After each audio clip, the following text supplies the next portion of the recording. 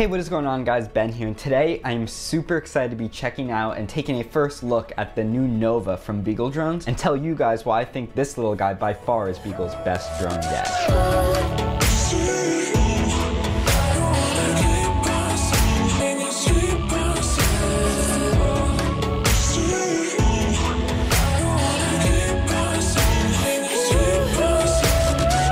This isn't going to be a full review as this is still a pre-production unit and there's a few flaws and kinks with it, but Beagle actually just wrapped up their Kickstarter for this drone and they soared way past their $5,000 initial goal. And so I really wanted to take a look at this unit, tell you what I like about it, what I don't like about it, address some of the comments and concerns I've seen from previous videos, and ultimately tell you guys why I think this little guy is by far Beagle's best drone yet.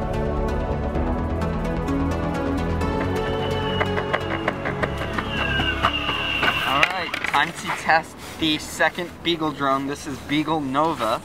We're in the same spot as last time. I'm excited.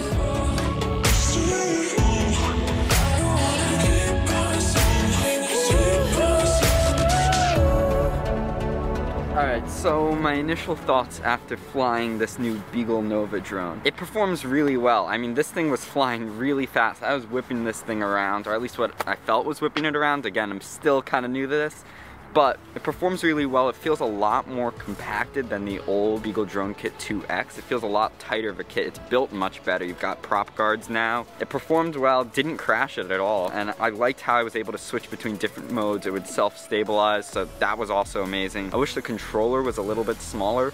Also, maybe if the controller was a little bit more optimized, as remembering what those switches do is a little hard, but I actually wrote out what each switch does at the top. But other than that, yeah, and I love how onboard camera, no more GoPro, that's kind of a, a, big plus. Also, speaking of the camera, the video transmission signal that I was getting to my goggles was super stable. I actually didn't think that I was gonna like lose signal with the drone at any moment, even when I was flying all the way out to the football field. But overall, first flight went really smoothly.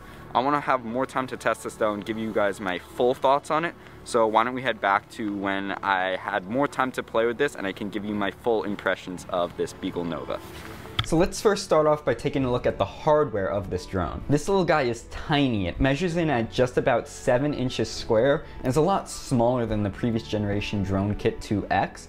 This makes it a lot easier to pack away into a bag and bring with you on a shoot, and it's also a lot lighter at only 248 grams, which means it falls under the FAA weight limit of 250 grams, which is required to register. That lightweight design also helps improve on battery life and performance of this drone. While I never got the advertised seven minute flight time, I could consistently get about five to six minutes in the air while really pushing the speed of this thing. However, as a content creator, the thing that excites me the most about this new drone is the heavily upgraded camera system. See, at the front of this drone is a little 160 degree FPV camera, which has an internal 1 over 2.7 inch Sony sensor. This camera not only streams a live feed of what your drone sees right to your goggles, but also simultaneously records a 4K 60 stream right to the internal SD card on the drone itself. See, at first I was a little bit skeptical about how good the video from this little camera could be. See, I'm used to filming with FPV on GoPros, and so I thought there was no way this little camera could keep up with something like a $400 GoPro. However, after testing it out, I was thoroughly impressed. Colors look great straight out of camera, and the footage actually looked super crisp. Sometimes it was even a little bit too much so that the fine details could come across a bit harsh, but I'd rather that over something that's too soft. The wide field of view also helped the footage look fairly stable without any post-processing or digital stabilization added, and if you throw some warp stabilizer on top, the footage actually looks really smooth. Now while the footage definitely doesn't match something like what you can get out of a GoPro Hero 8, I think this camera could rival or even beat something like a GoPro Session, and it's definitely an incredibly nice feature to have included with the drone itself. And if you'd like, there are some screw holes on the front of the drone in the top of the case, where Beagle Drones says they will make a GoPro accessory mount so that you can attach your own camera right to the top of the drone. And that brings me to my next point, which is having a built-in camera that can record such good video on this drone makes it an excellent entry for any content creator looking to get into FPV on a budget. See, no longer do you need a drone and an expensive GoPro with it. Now you can just pick up this kit and capture really good looking FPV footage with everything that comes in the box. So for a content creator on a budget, this is really an incredible value. Now that's not to say this unit didn't have its quirks though. During my testing with this pre-production model, I noticed that one of the propellers would occasionally scrape the inside of the propeller guard, causing the drone to trim to the side when I didn't want it to. And also the SD card in the side of the drone was incredibly hard to access. I actually needed a knife and some tweezers just to kind of push it in and out and pull it from the case. I also wish the battery level indication on the goggles for when I'm actually flying this drone was a bit more clear as it would sometimes bounce around making it hard to tell how much battery I actually had left on this drone. However, I'm hoping all of these are just quirks with my pre-production unit and Beagle ensures me that they're working to fix a lot of these little things for the final release. So now we get to the big question. Is it worth it to pick one of these up? Nova is without a doubt a really compelling drone. In my testing, it performed pretty well and the footage that came out of this tiny little camera truly shocked me. However, with DJI's own luxury FPV drone looming on the horizon, Beagle has a lot to go up against. As it stands at its $500 price, this drone feels like a much better value for someone looking to just enter the FPV market, maybe for the first time, now I do know that there's been a lot of concern in the past about Beagle's prices with people commenting on my videos saying that it was way overpriced for what you get and trust me, I hear you and I get it. However, after really testing this product, I don't think that that's entirely true. See, what Beagle is offering here and with their other products is a solid pre-built drone that delivers a seamless experience to the user.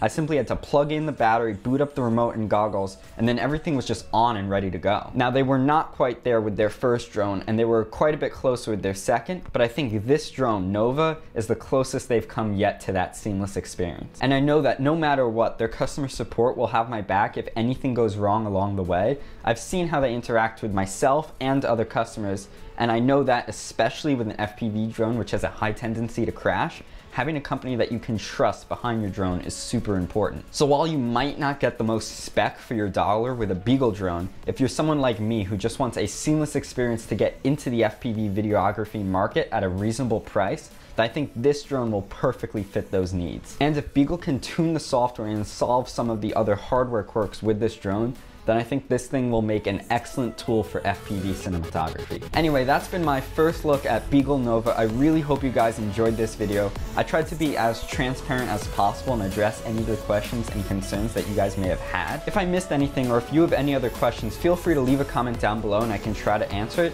Also, if you enjoyed this video, please make sure to hit that like button and also make sure to subscribe to catch some of the new videos that will be coming out very, very shortly. Anyway, that's been it. Thanks, subscribe, and peace out. Catch you all in the next one.